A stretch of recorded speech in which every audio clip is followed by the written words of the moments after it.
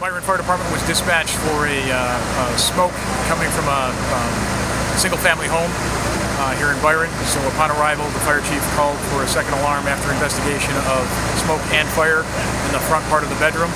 Uh, Byron South Byron Fire Departments responded uh, along with the mutual, some mutual aid companies. They were able to make entry, uh, able to get the homeowner out safely as well as uh, the pet, uh, a dog and a cat. Uh, and then able to knock down the main body in the fire uh, in a bedroom, front bedroom of the uh, trailer. Still evaluating that, but heavy damage to the front of the front of the building, and then throughout the uh, rest of that uh, rest of the home is uh, smoke and heat damage. So just normal precautions for rehab, and then checking their vitals afterwards from the firefight, but no injuries reported by the homeowners or by the firefighters. Yeah, Byron, South Byron, Elba, Bergen, City Batavia uh, Mercy EMS, Genesee County Sheriff's Office, and then Clarendon and Stafford Fire Departments were filling in for the fire departments over here.